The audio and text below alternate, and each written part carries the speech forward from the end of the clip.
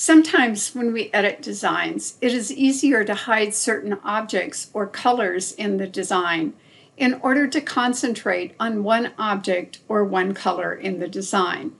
Colors can be hidden through the View menu or through Color Film. Select View and View by Color and check the colors you wish to view. Click OK. By hiding everything but the pumpkin, it makes it easier to edit. To bring the colors back, right-click on the design that's shown and select Unhide All. Or you can right-click on a color chip in the color film docker and select Unhide All.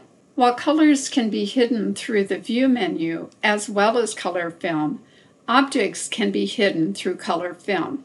Let's say you want to focus on the cornucopia. Click on Show Objects to break the colors into objects, and then select the parts of the object that you wish to view.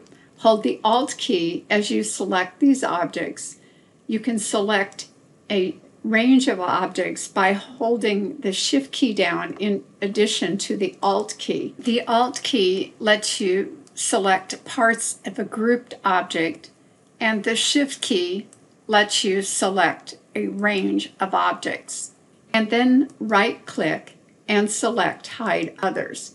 That will let you focus on the cornucopia and make your changes to that object. Notice that there are lines across the boxes in color film. This indicates that objects are hidden.